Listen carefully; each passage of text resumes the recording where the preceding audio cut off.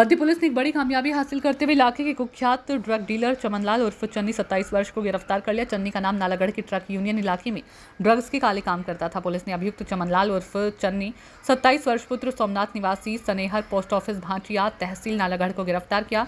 Police ने एक खुफिया सूचना के बाद चन्नी की कार को रोका और तलाशी में चार किलो आठ ग्राम भुक्की चूरा पोस्त बरामद किया। जैसे ही पुलिस ने कार का डैशबोर्ड खोला, उसमें से एक लाख सत्ताईस हज़ार पाँच सौ रुपये नकद बरामद हुए जो इस नशीले धंधे से कमाई की गई मोटी रकम थी। स्मार्टली सेटअप लेकिन पकड़ में आया। चन्नी का तरीका बिल्कुल अलग और बेहद शातिर था। वह अपने घर से निकलकर सीधे ट्रक यूनियन के इलाके में कार पार्क करता और वहीं से नशीली सामग्री को डील करता था।